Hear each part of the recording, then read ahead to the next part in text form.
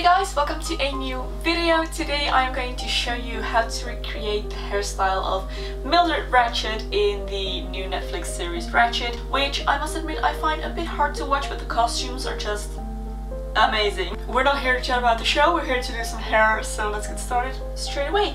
The hairstyle that Mildred wears in the majority of the show is a very typical 1940s hairstyle and I actually have a video on my channel already which is very similar. Today I'm just gonna tweak it a little bit to get it even closer to hers in the show. So I am wearing one strip of hair extension today. I have placed it at the bottom of my hair it is right here and I will need that because we will be doing a hairstyle in three parts and my own hair is quite fine and thin. You definitely don't need hair extensions to do this hairstyle.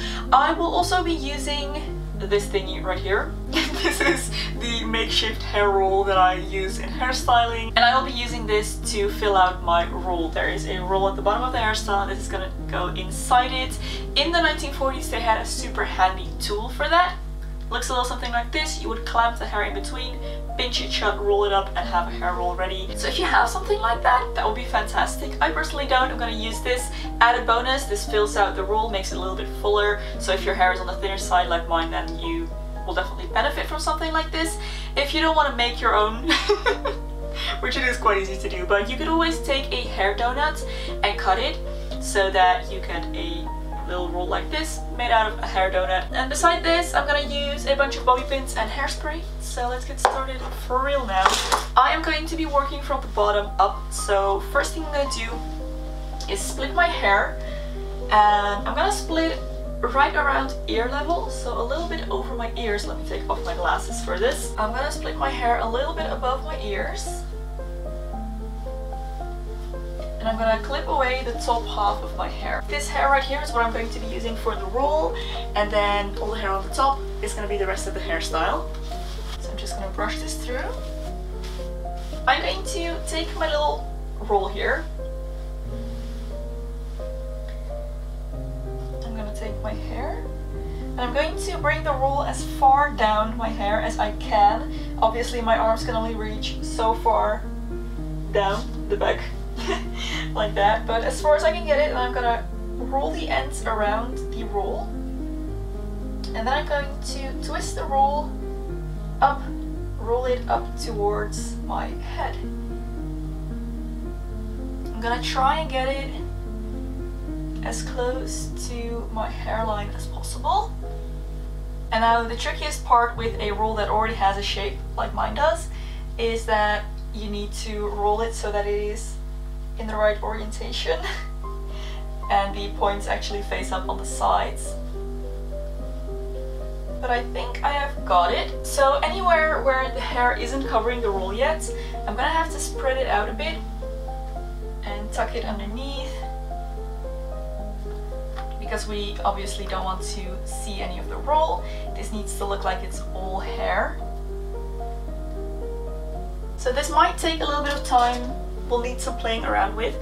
But once you have your roll roughly set in the right position, just gonna go in with some bobby pins and secure this down. And I will go back later to spread out this hair a little bit better, tuck it in where I need it, but for now I just want to secure this on my head so that I can let go and actually look at this from behind. So at this point I'm gonna grab a second mirror so that I can look at myself from the back and see that I have little horns on both sides which we definitely don't want. So I'm gonna just work on covering those by just pulling at the hair, spreading it out a little bit better and tucking whenever needed. The way I'm pinning my hair is I take my bobby pin and I will kind of go around the roll. So I stick it in like that then I flip it over before I push it in. And if you are using a hair donut um, one of those kind of netted ones you could push the bobby pin through the donut a little bit or kind of catch a bit of that donut. That will make it even more secure. By the way if you need to do a lot of tucking on the top and it becomes a little bit messy around this edge don't worry about that. That's what the next part of the hairstyle is for. So just make sure that the bottom and the sides are neat. Alright, once you are more or less happy with the roll, you can go ahead and hairspray this to death. Make sure this does not move. Especially if you have little flyaway neck hairs like I do. I think most people have those. Hairspray is a necessity.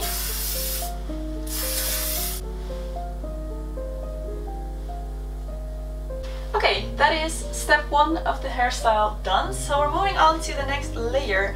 And for that, I'm gonna have to separate my hair. So Nurse Ratched has two victory rolls on the front, and then the back of her hair is arranged in rolls along the top of this bottom roll. So I am now going to separate enough hair to make my victory rolls, which is basically going to just be the front of my hair at this point. So I'm separating the hair above my ear. So from the top of my head, right on my crown, to my ear. Take the front of that and clip it away for now. And now the hair that I have in the back here, I am going to separate that into three equal sections. I'm going to take the center section and roll it around my hair and I'm going to create a little bit of a pin curl So I'm just going to roll this up. Right up here. And then I am going to just bobby pin this down and I'm going to make sure that it is sitting on the top of my roll, the bottom roll that we just made. Then I'm going to move on to the next. I'm going to make another little pin curl. And these can be quite large. They are pretty big on her as well. And we mostly just want to cover up the majority of the top of the roll here. So don't be afraid to make the curls quite big, but try not to make them overlap, they should sit next to each other. And then with the last one, of course, we're going to do the same thing. And with these outer two curls, I am trying to make sure that they face inward so that the bulk of the hair is on the outside and then it kind of twists inward. Then once I am happy with the second layer, my rolls, I'm gonna go ahead and hairspray this as well. Then it's time to move on to the last layer, which is going to be the victory rolls. And this is possibly the trickiest part. I'm going to start by splitting my hair down the center. I'm gonna clip one side away for now because we don't need that yet.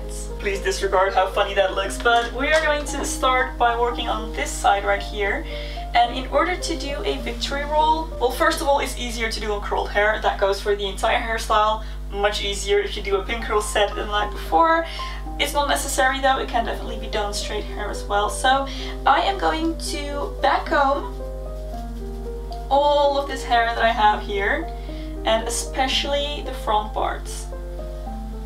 And this is extra important for me since I have bangs that I need to somehow incorporate into this. But even if you don't have bangs, back combing is half of it honestly and can really determine how successful your victory roll will be. So all of this side is now backcombed and why backcombing is so important in making victory rolls is that we need this hair to be moldable and to do what we want it to do and that is a lot harder when it is slippery and not backcombed. Backcombing just makes it much easier. So next I need to mold my victory roll as I mentioned.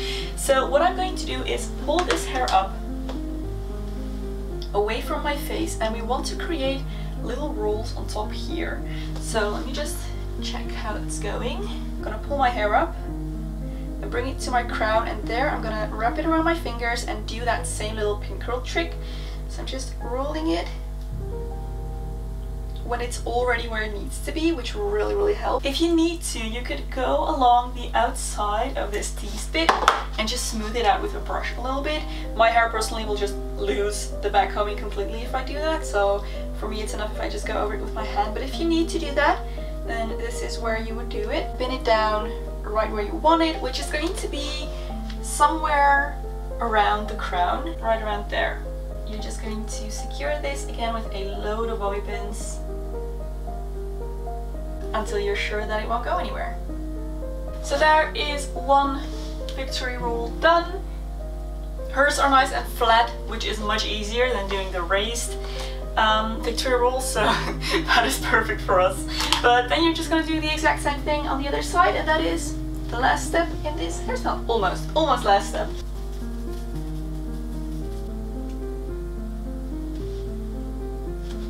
One important thing to note is that you want your rolls to meet up in the back, so they need to touch. And preferably you'd want them to be around the same size. And then of course, you guessed it, last step is to blast this with hairspray. Which can also help if you have bangs like me to just stick them up. And there you have it, there is the hairstyle of 2020 version of Mildred Ratched from the Netflix TV show. So I really hope you enjoyed this video guys and maybe found it helpful if this was something you were looking to recreate. If you did enjoy this video don't forget to give it a thumbs up and subscribe to my channel for loads more beauty and lifestyle content. If you would like to support me through Patreon or my merch store there will be links in the description below. Thank you so much for your support. There is another video here that I think you might also enjoy you can go watch next. Thank you for watching and I'll see you very soon in my next video. Bye!